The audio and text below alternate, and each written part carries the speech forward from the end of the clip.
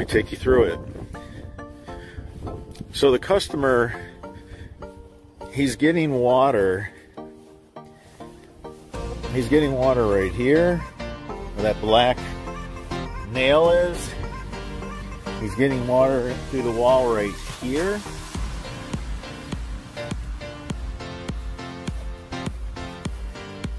He's getting uh, water in where that nail is.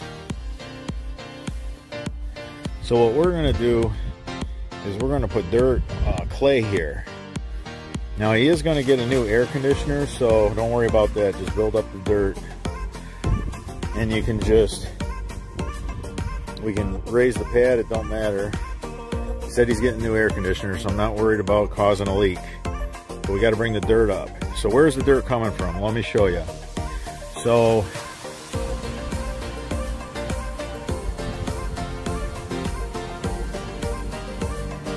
we got to raise these valve covers up and then we got to put some wood here and go up with the wood so that we don't put dirt up against the block.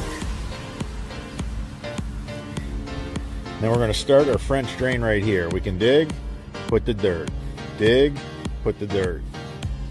You know? Clay, clay, put the clay. So here, we're going to do wood. Do wood again. So we go under the wood with stone, just a four, three, three inches maybe, stone, no, no pipe.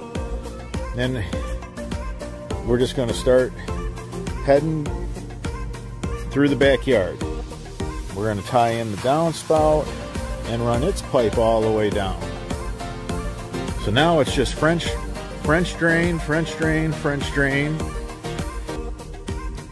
Welcome to the French Drain Man channel. I'm Robert Sherwood and I'm here to talk about a yard drain system.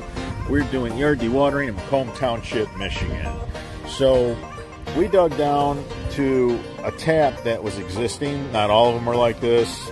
Macomb is the only place you'll ever see this. As far as I know, we have to core drill half of them here at Macomb and the other half have a tap which saves the uh, homeowner uh, a couple bucks that way. So the guys did a really nice job here. It's all clay. Everything's clay. Macomb Township doesn't have any veins of sand or gravel. It's it's clay. I mean, I've been working Macomb. I've been working Macomb 30 years, man, and there's no break from it.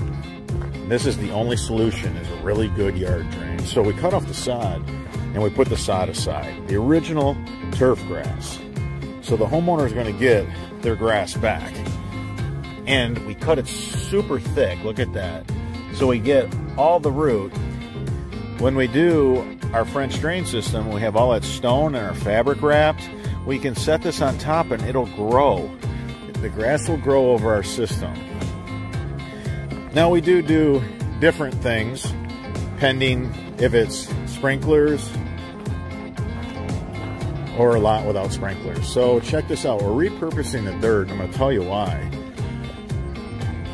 We had negative pitch over here and the water was going down. The water was finding the rod holes and they're plugging them, you know, epoxying them. But the fact remains it was a negative pitch. So we're repurposing everything here. So we raised the air conditioner. We actually took some 4x4s. The guys did a great job. The original pad is still there. They went ahead and framed in 4x4 treated timbers so that they can go ahead and elevate that. Now, guys, contractors, you never want to you never want to mess with somebody's AC unit because it's guaranteed to leak. So you must tell the homeowner that you're probably going to have to have an HVAC company come in and find the leak. More than likely, there's going to be something. Ironically, here, the gentleman's buying a brand new AC unit because that one's giving it up. So it just worked out. So we just lifted on it, didn't didn't have to worry about that.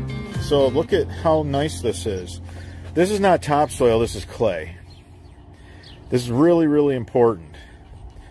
Clay gives you a liner. Topsoil does not. This liner is just going to let the water run right out.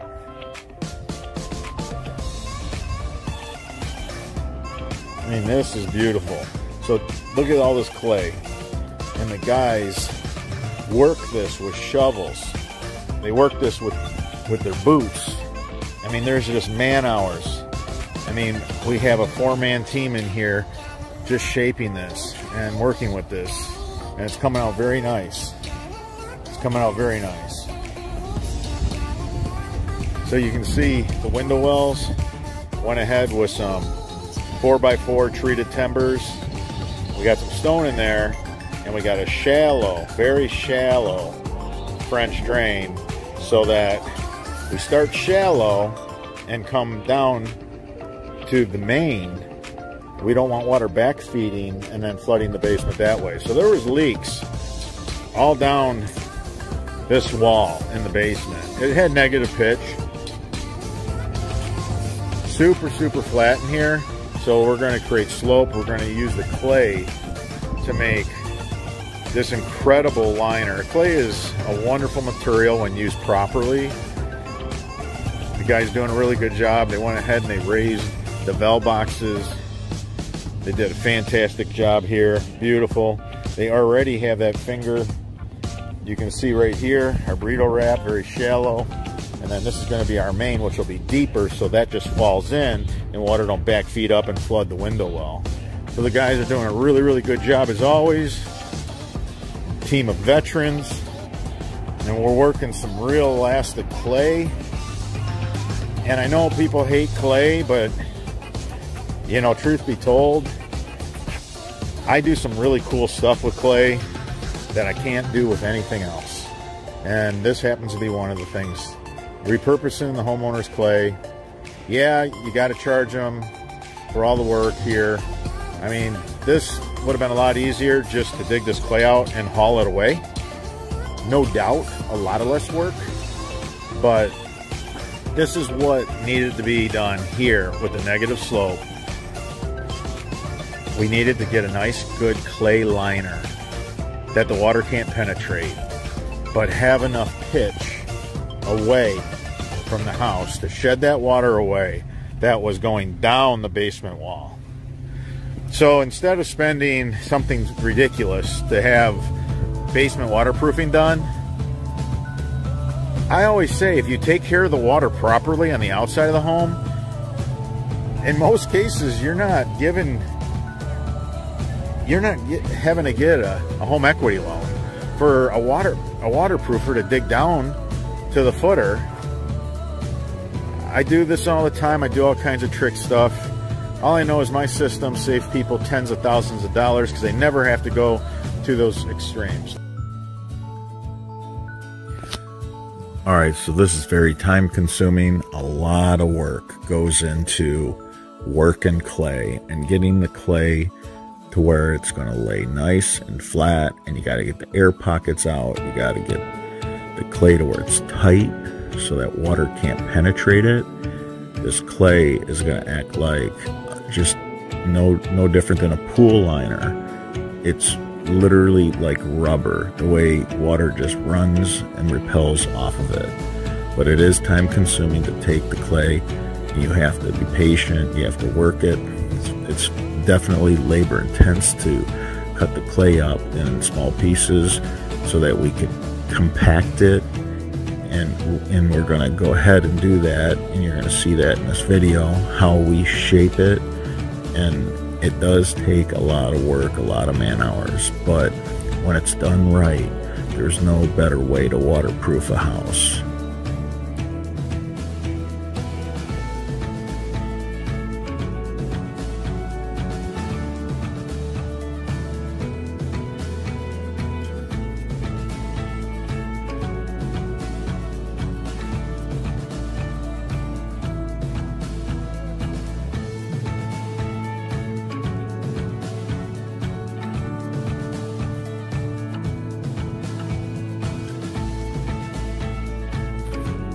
Right now, the men are working together as a team.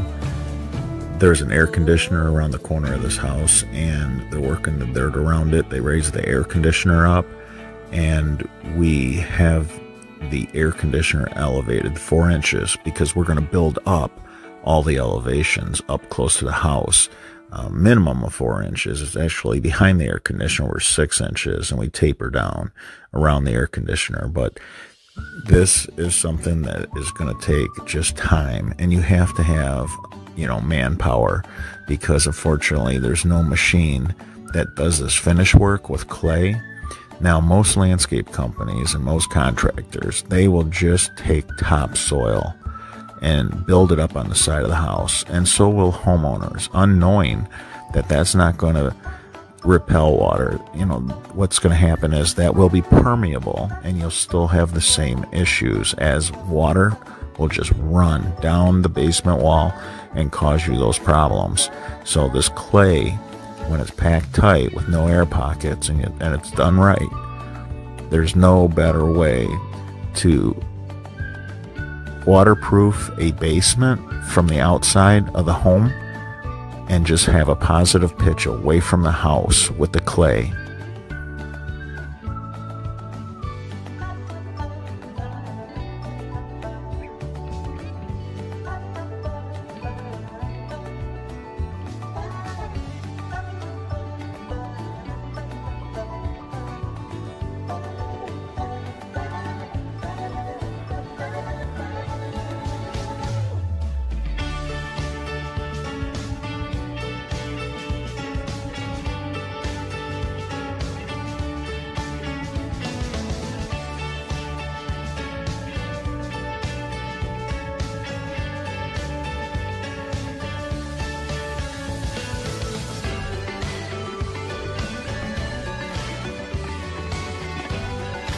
Right now, the guys are taking care of the French drain.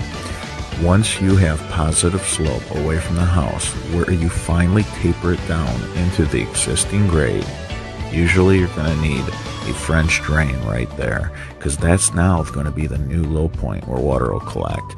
But it's not up against the house anymore. So that's the important part.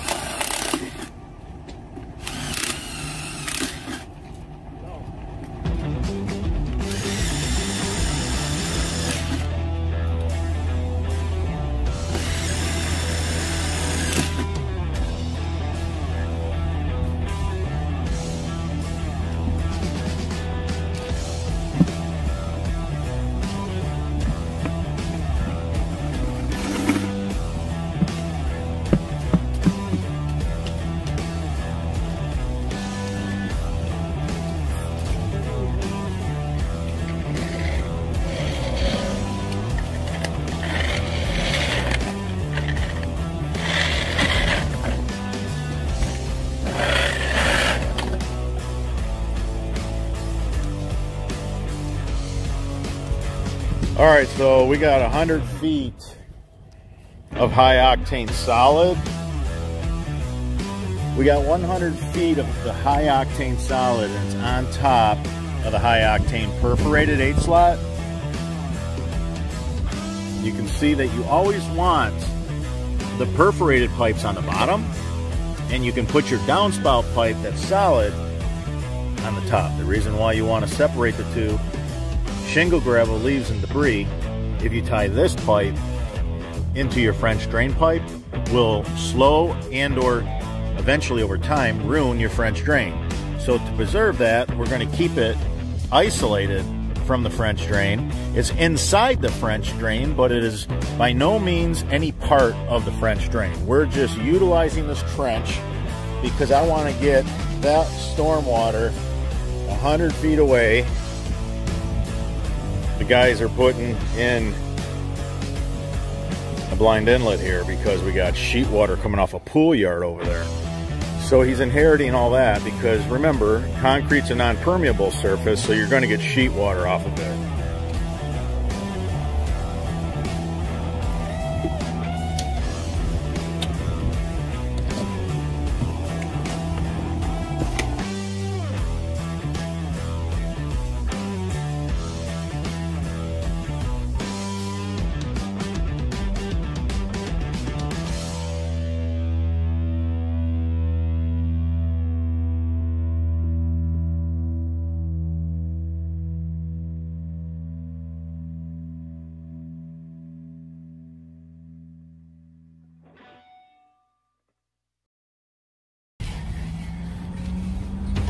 We always do the FDM royal blue blind inlets. That way, this homeowner, if he goes to sell it,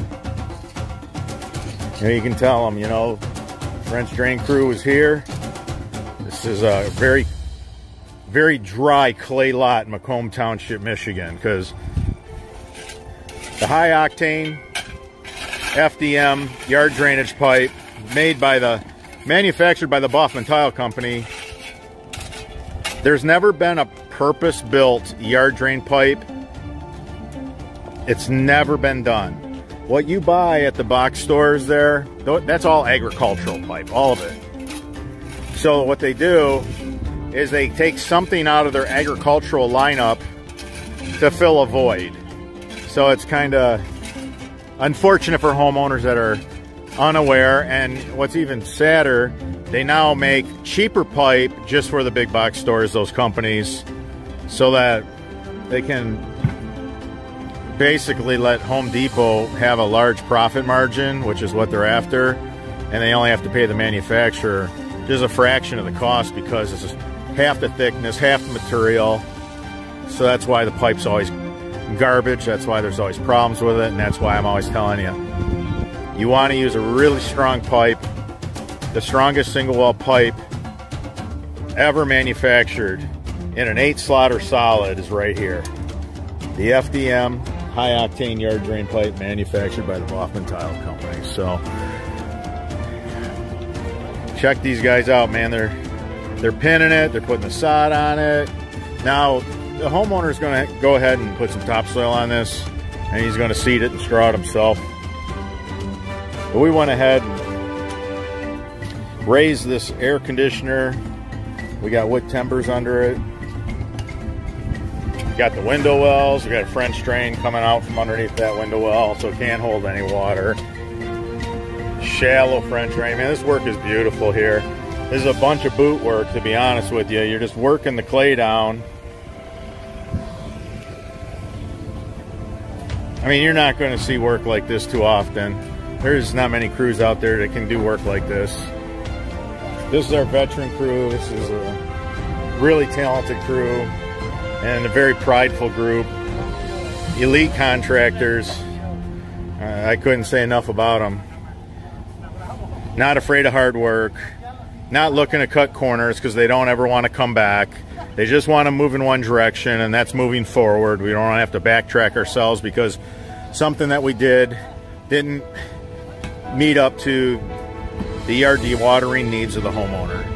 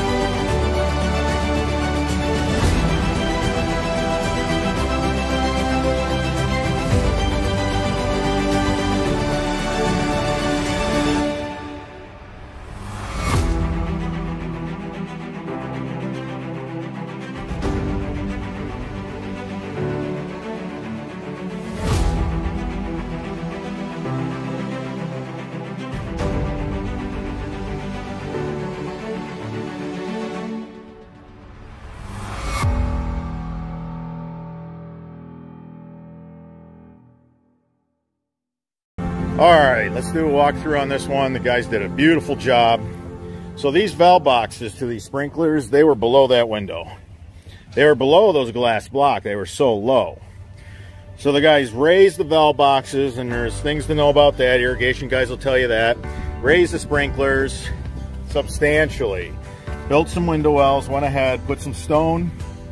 We have a French drain in there that goes to our main French drain, but it's not as deep because I don't want water back feeding and flooding this basement. Now this guy, he was getting water in his basement. It was leaking through the rod holes. Well, he didn't need no exterior waterproofing system. He just needed a, a, a positive pitch. It was a negative pitch. Water just laid here. So it was allowed to go down the foundation of the home to the rod holes, just cause him headache, cause him havoc. An interior system would have cost more than what we did. And now you're taking care of the water the wrong way. You want to get the water away from the house. Don't live with the negative pitch and just get that indoor system that's going to be musty smelling, mildewy. And if the exterior basement wall guys did this, well, they're going to tear up your sprinkler system. They're going to tear up all the grass they're going to come in here, make a mess, and say, call your landscaper, call your sprinkler company, call your sod company. And that's just how it goes. Now, we did raise the AC unit ourselves, so we didn't have an HVAC. Um, sometimes we do. depending. Some of the bigger houses have a couple big giant units and, you know, we'll get a hold of their HVAC company and work together. But in this case, we just went ahead and we took this clay and we repurposed it to give them positive slope away. Now, when you put clay up against a house like this and you pack it tight with no topsoil, let me tell you something, water's not gonna end up going down this basement wall. It's not gonna happen. It can't. It's impossible. We have nice positive slope away from this house and that clay is the absolute best liner for a job like this. Now, I know that if you're watching our channel, you uh, subscribe to our channel, and you if you're not a subscriber, stick around. We do some cool stuff. We share a lot of things. Uh, we try to, you know, help the young guys out there. You know, hopefully we can get them doing things right sooner in their career because being an entrepreneur is not easy. And the older dudes, they're just not like ready to give up, you know, their best kept secrets. But in any case, I know Clay all our subscribers are dealing with clay. They think clay's the enemy. They hate clay. Well, let me tell you something. Clay can be your friend, and here's the perfect example. This was the perfect material for this job.